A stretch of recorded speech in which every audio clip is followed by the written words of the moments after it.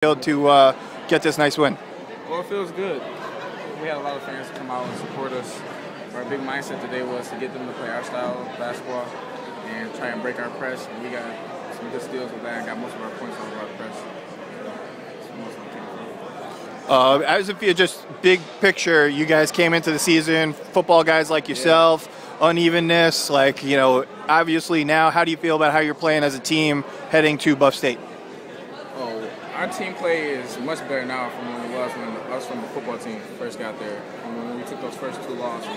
And our big word of the year is finish like it was for football.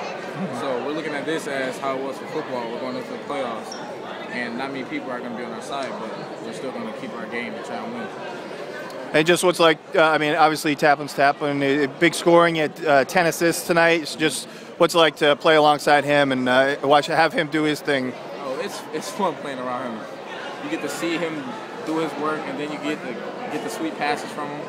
But playing with him is just great. He's a great player, and I can't wait to see what college he chooses because I know he's going to be great in the next level. Coming in, was there any, I mean, nerves? I mean, Niagara Falls obviously had a down year, but the name kind of has some weight to it with the history and everything. What was the attitude coming into the game and, and playing a Niagara Falls team? The attitude coming in was to win because we haven't beat this team ever. so we knew that this time was going to be different. We're going to come out and get the win and get past this. Cool. I'm good.